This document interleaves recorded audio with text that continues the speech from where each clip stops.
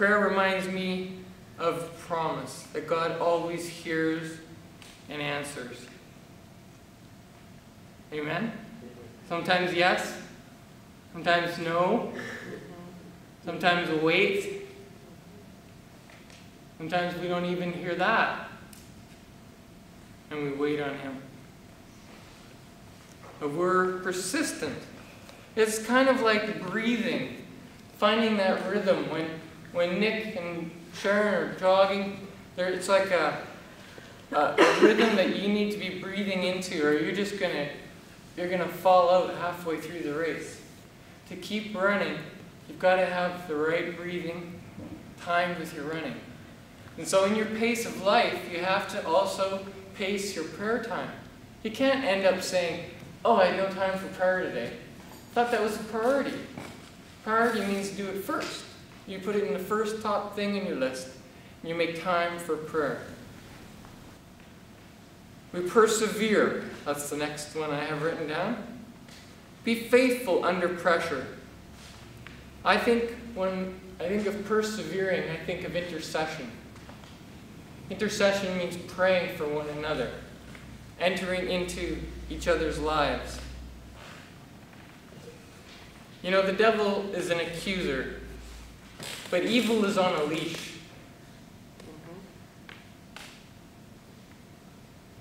And when we are presented with untruth, like false guilt in our lives, we need to not give up, not listen to that. We need to persevere. We need not to obsess over and over. We need to be precise. Next letter, next word down.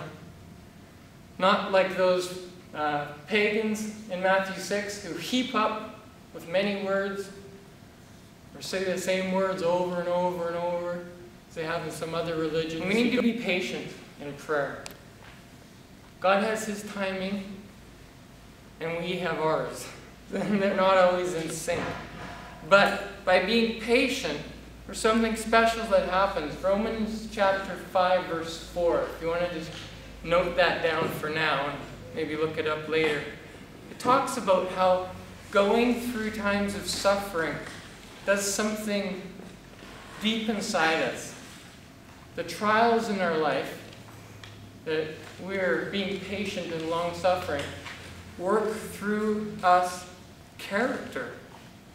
And through the character and the perseverance builds up hope in our life. So I just ask you if you're feeling a little hopeless, how's your prayer life? It should be passionate. Not just from the heart. No, wait, not just from the head. from the heart. Heart and head put together, the whole person. It depends on who you are and what you're like. But incorporate your imagination when you're reading Scripture.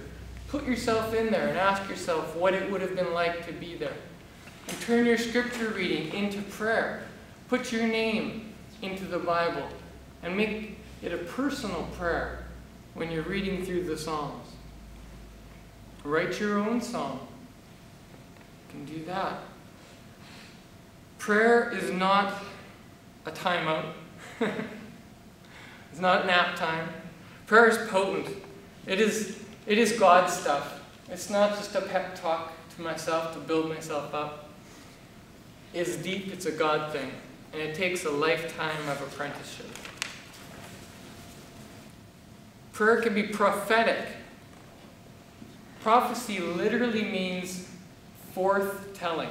Sometimes in the Old Testament and New Testament, we have the gift of prophecy where it's foretelling, saying that God is going to do this. But mostly, prophecy means forthtelling. Thus saith the Lord. This is what God thinks. That's a prophetic voice. Who will cry out in the midst of every other noise that's going on, trying to compete for our attention, and say, This is what God thinks.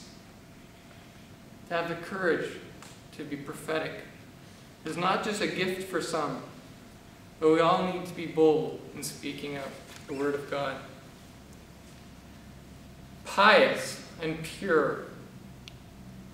Paul calls us to be holy. In Matthew chapter 5, Jesus says to be perfect, therefore. But you know, God sees everything.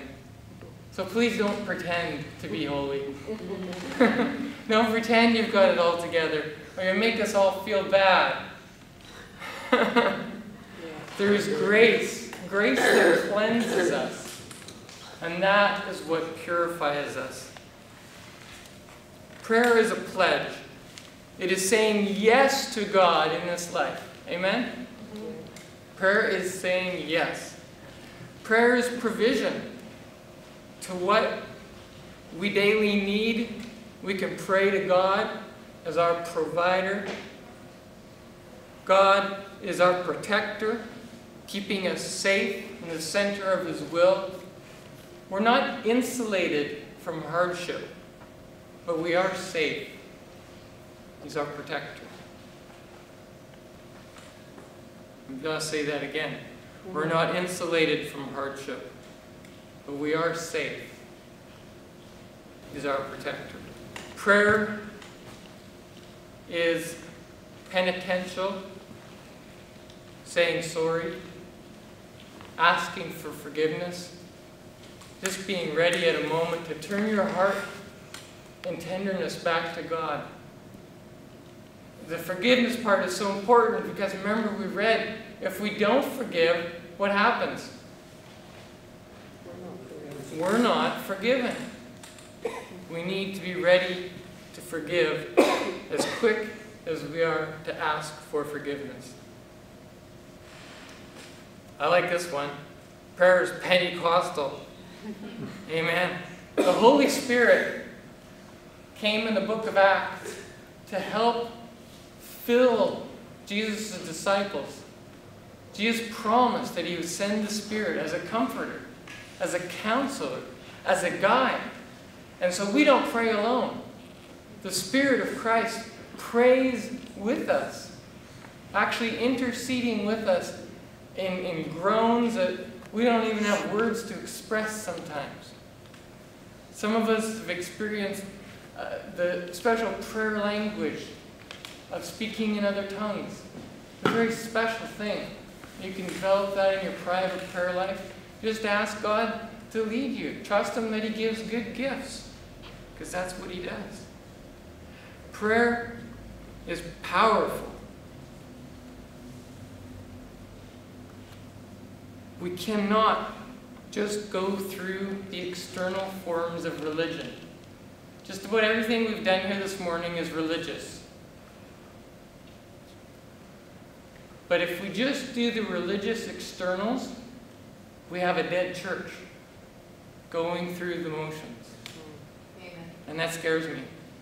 We need to be a people of prayer. And that prayer is powerful. It'll hold together this church. It'll grow this church. It'll change each one of us, which will in turn change the lives of everybody around you.